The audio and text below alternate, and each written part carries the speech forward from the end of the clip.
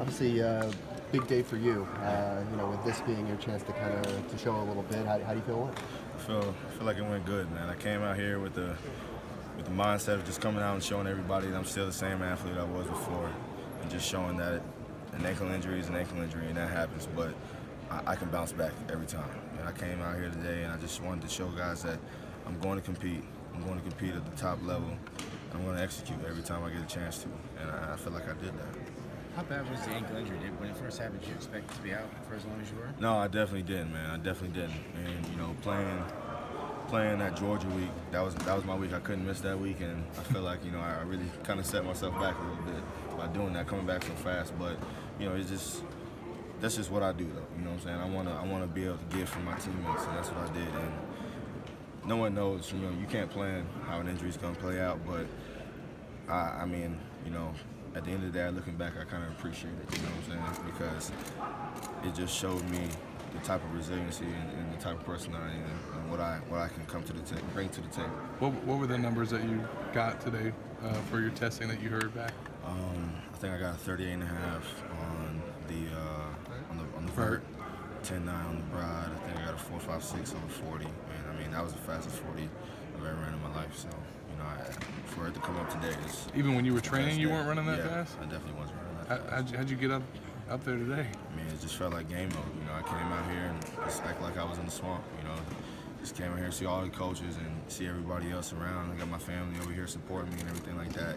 And just to come out here and just kind of mentally mimic that atmosphere, I was able to put myself in a zone that I just I never I've been in, I haven't been in in a while. Could you have tested this well at the combine? You think, or was it important for you to wait till today? I think it was important for me to wait till today. You know, because I mean, I didn't have a lot of time to train. I only had like two and a half weeks total, but you know, for me to have just gotten, you know, ready to run, I was just getting able to run at the combine. I, I don't think I would have done that well.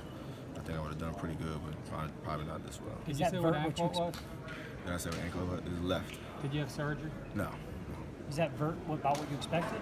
Yeah, and a half? yeah. I, I, I have been jumping that for a while. You know, I think that was that was probably one of the highest ones I jumped in a minute. Did they expect it? Because it looked like you jumped over the first Yeah, setup. yeah. When they when they put it up, I kind of looked up there and I'm like, is he gonna move it up or? so I just went for it. You know, I just I really just jumped and I wanted to clear the whole thing, but it was I think it was good. Good that I thing you did. didn't tell him to move it up. You got the effect. of- Yeah, yeah I think hitting I it. surprised a lot of people. Did you take stock of what everyone else did, the linebackers at the combine, their numbers and stuff? Um, you know that that definitely played a role in it. You know, I was able to set marks for myself and really, really push myself to to train and to compete. And then if I didn't get those times, you know, I had to go back and put some more work in. But I only had two and a half weeks, so I had to be really smart with myself so I didn't overwork my body. And I feel like I was in good shape coming out here and ready to work. And you know, I feel like I did a good You, job. you didn't compete at the combine, but reports coming out of it were that you raised your draft stock, but not even you didn't even work out. So that was just coming strictly from interviews. What did you do, or to, you feel like impress people that much? I mean, the biggest thing for me, man, I knew going into the combine, guys want to know what type of person I was off the field. They see the player I am on the field, and you know, guys, they a lot, a lot of coaches and, and teams they love it, you know, and they, that's what they've been telling me. And for me to go into the combine, the only mindset I had was just go in there and show them the young man that your mom and dad raised, and I went in there and I did exactly that. I didn't, I didn't try to hide anything. I didn't try to sugarcoat anything. I think that's where a lot of guys mess up. You know, they go in there and they try to, to put on something that they're not. They want to see exactly who you are so they know who they're going to pick. I mean, they're investing millions of dollars in us to play a ball game, you know. So I just want to go in and let them know this is exactly who you have. This is exactly who you're going to get every single day. There's nothing about. Jarrad, who, who do you think they see when they flip on the tape? Um, you know, I think they see a vicious, mean athlete. You know, somebody who plays with a different mentality each and every snap, and, and that's how it is. You know, every drill, every workout, every rep in the workout I do, you know, I, I want to come with a different mentality. I want a different energy to to, to kind of that, that I can give to everybody else so they can feed off of. You know, and, and that, that's how I feel.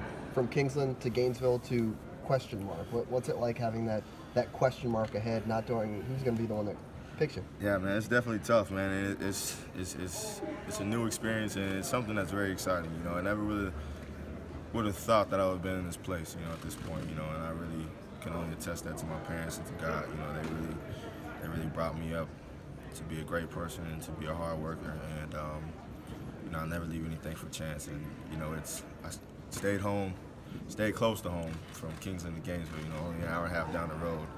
Then um, I went to Orlando to train, so I'm still close, and now it's up in the air. So you know, I'm really excited for this new chapter in my life, and um, I just hope that I can be a good example for everybody else Do you have any individual workout set up?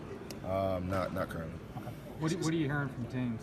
Um, you know, the, the biggest thing was just they want to know who I was and, and they want to know how I think in certain scenarios on the field, you know, and I have a couple meetings set up where I have to go, you know, explain, you know, this is how I see things and I want to ask them questions about, you know, what they think I should look at and, you know, the things that they think that I should break down and everything like that when it comes to playing ball at, at the next level. How important is it to be a first round pick to you? Um, it's not important. It's not super important, but I definitely, it would definitely be a huge honor, you know, to be picked in that, in that top 32 because you know those are the elite guys, the guys that come out every day and show that they love this game and that they can play it at the top of at the top of the top.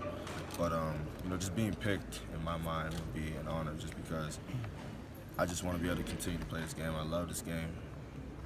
It's, it's about the game to me. It's not really about what comes with it. Back on, sorry.